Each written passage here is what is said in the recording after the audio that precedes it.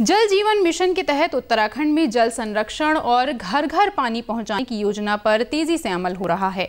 प्रदेश के पहाड़ी इलाकों में चाल खाल बनाकर जल संरक्षण का कार्य चल रहा है।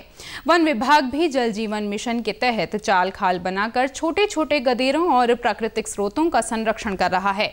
कई स्थानों पर वन विभाग ने चेक डैम भी बनाए हैं।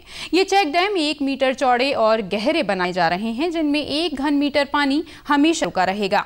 वन प्रभाग रामनगर के डीएफओ चंद्रशेखर जोशी ने बताया कि बड़े चाल खाल की लागत तीन लाख और छोटे की पचास हज़ार रुपए आ रही है। उन्होंने कहा कि गदेरों के पानी को रिचार्ज करने के लिए पहाड़ी पर जगह जगह गड्ढे खोदकर चाल खाल बनाए जा रहे हैं, जिससे बरसात के दिनों में इसमें मात, पानी जमा होकर भूमि में रिचार्ज हो सके। तो ऐसे 10 से 20 घन मीटर के चाल खाल होते हैं, वो देखा जाता है कि किसी स्लोप में किसी क्षेत्र में कितनी जगह हमें उपलब्ध हो रही है और इसकी कीमत लगभग पचास हज़ार के आसपास बैठती है। और इससे जो है वहाँ पे लोकली जो बारिश है, उसका पानी हम वहीं पे रोक करके उसको अंडरग्राउंड उसको रिचार्ज किया जा सकता है। धुमाकोट रेंज के अंतर्गत जायका के अंतर्गत कुछ हम चाल खाल बना रहे हैं और एक सीरीज़ में चेक गेवियन चेक डैम बना रहे हैं ताकि ज़्यादा से ज़्यादा जो जल संरक्षण है उसको किया जा सके।